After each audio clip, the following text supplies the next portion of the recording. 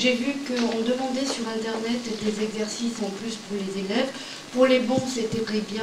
Mais le vrai problème, c'est comment faire travailler nos élèves sur les devoirs qu'on leur donne à la maison. Et remettre en priorité que l'école passe avant tout. Et dans leur projet de vie, après le sport, après les loisirs, et après euh, bien d'autres choses très agréables, on n'est pas dans une société où tout doit être ludique.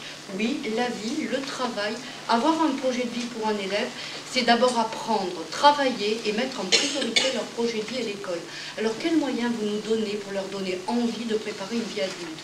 Moi, il m'arrive en terminale d'avoir même des élèves qui partent en congé trois jours avant, trois jours après les vacances de Pâques. Quand vous leur dites qu'il y a tant à apprendre, on a l'impression d'être un extraterrestre. Mais comment avons-nous fait nous-mêmes? Alors, dans la réforme, qu'est-ce qui est prévu pour ça? Ce goût du travail qui est important pour réussir.